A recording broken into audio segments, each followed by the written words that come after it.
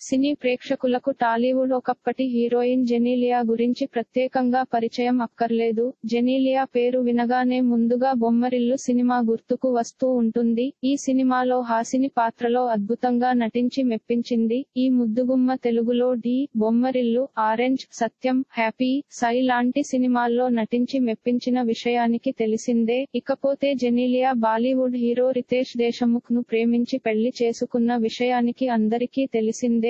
దేశ దేశముఖ్తో కలిసి ఈమె పలు హిందీ సినిమాలలో కూడా నటించి మెప్పించింది. ఇక పెళ్ళి తర్వాత పూర్తిగా ఇంటి బాధ్యతలను చూసుకుంటూ ఇంటికి పరిమితమైంది జెనీలియా. ఈ దంపతులకు ఇద్దరు పిల్లలు కూడా ఉన్న విషయానికి తెలిసిందే. ఇటీవల కాలంలో మళ్ళీ సెకండ్ ఇన్నింగ్స్ని ప్రారంభించింది జెనీలియా. ఈ క్రమంలోనే భర్త రితేష్ దేశ దేశముఖ్తో కలిసి ఒక సినిమాలో నటించింది. రితేష్ జెనీలియా ఇద్దరూ కలిసి నాగచైతన్య సమంత కాంబినేషన్లో తెరకెక్కిన మజిలీ సినిమా మరాఠీ రీమేక్లో నటించారు. తెలుగులో మజిలీ సినిమాకు శివ నిర్వాణ దర్శకత్వం వహించిన విషయానికి తెలిసిందే. మజిలీ సినిమా మరాఠీలో వేద్ అనే పేరుతో రీమేక్ చేసిన విషయానికి తెలిసిందే. ఇందులో రియల్ లైఫ్లో జంట అయిన రితేష్ జెనీలియా జంటగా నటించారు. కాగా ఇటీవల విడుదలైన ఈ సినిమా బాక్స్ ఆఫీస్ వద్ద కలెక్షన్ల వర్షం కురిపిస్తూ దూసుకుపోతోంది. పాయింట్ ఒకటి ఐదు కోట్లతో రూపొందిన ఈ సినిమా పదిహేను రోజుల్లోనే దాదాపుగా నలభై ఐదు కోట్ల కలెక్షన్స్ రాబట్టింది. హిట్ టాక్ని తెచ్చుకున్న ఈ సినిమా బాక్స్ ఆఫీస్ వద్ద కలెక్షన్స్ కురిపిస్తోంది. అంతేకాకుండా మరాఠీలో బ్లాక్ బస్టర్ హిట్గా నిలిచిన సైరాట్ సినిమా తరువాత అత్యధిక వసూళ్ళు సాధించిన సినిమాగా కూడా ఈ వేద సినిమా నిలిచింది. మరాఠీలో సైరాట్ సినిమా నూట పది కోట్లు కలెక్షన్స్ను సాధించిన విషయానికి తెలిసిందే. ఇలాంటి మరిన్ని తెలుగు వార్త విశేషాలు కోసం ఛానల్కి సబ్స్క్రైబ్ చేసి గంట నొక్కడం మర్చిపోకండి.